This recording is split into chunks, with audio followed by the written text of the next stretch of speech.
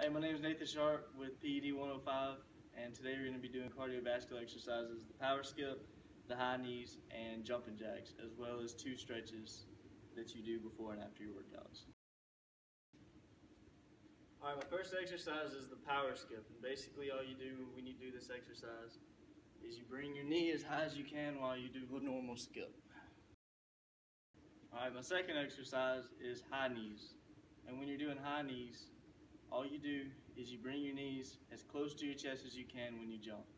So basically, just like that. Alright, my final exercise today is going to be jumping jacks. And when you do a jumping jack, you just want to bring your arms above your head to where the tips of your fingers touch and bring your legs from shoulder width to just slightly outside and back. Just like this.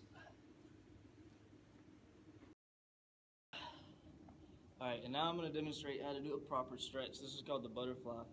It stretches out your groin. All you would do is bring your feet in and try to push down your legs. Just put pressure on them, just to stretch it out.